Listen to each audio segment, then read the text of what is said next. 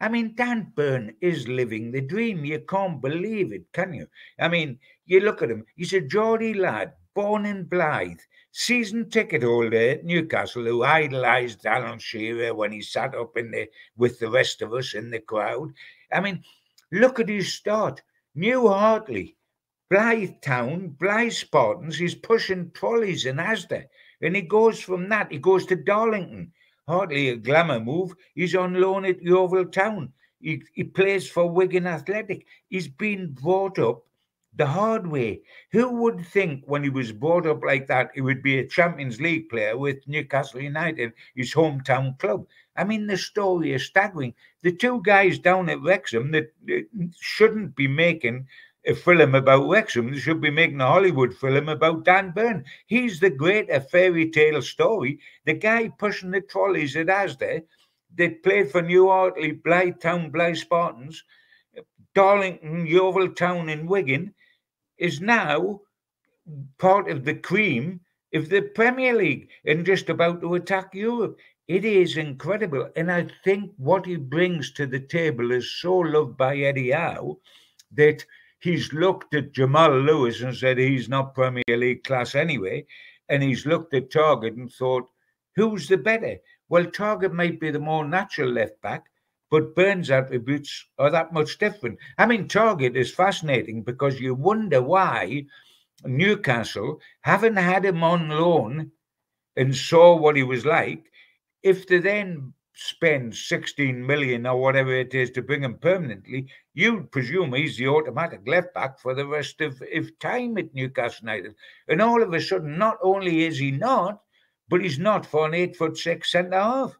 Now, that why, if that decision is consciously being made by the manager, that I prefer Dan Burn to Matt Targett, and that decision has been made because Matt Targett got fit, as you say why did we sign him in the first place? Having had him on loan, so we saw his assets, but we also saw his limitations. Fascinating that how Targett finished here and then got usurped by Big Dan. All that remains to be done, John. I want you just to tell me what next season holds for Dan Burn. Next season holds the realization of everything that brought him into football the realization of a dream, the realization of the impossible dream. Because when he was playing for New Hartley, when he was playing for Blyth Town and Blyth Spartans, and I'm not having to go to those clubs because I've been at that level with Gateshead, when he was playing for them and in Asda, he lived, dreamt the impossible dream, which was that I played for Newcastle United in the Champions League. We've all dreamt that. No chance whatsoever. Sorry, next season he is going to do that.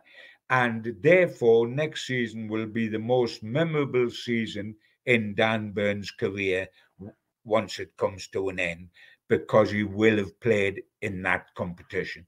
And um, it's wonderful.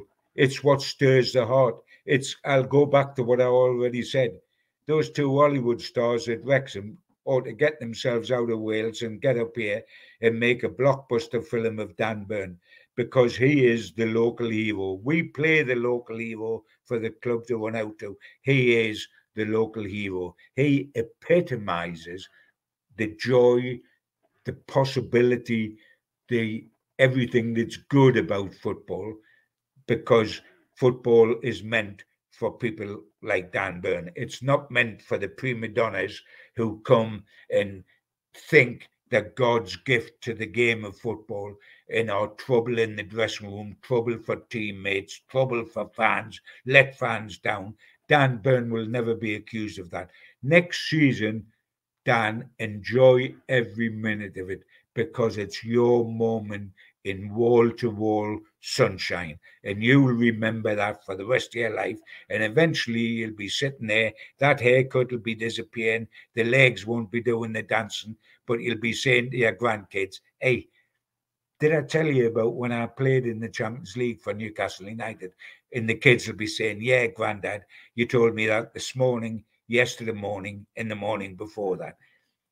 That's what he's earned in his career, and that's what he'll be able to do. So enjoy next season, Dan. We, as Newcastle United supporters, are going to enjoy it. You're in a privileged position. Enjoy it even more.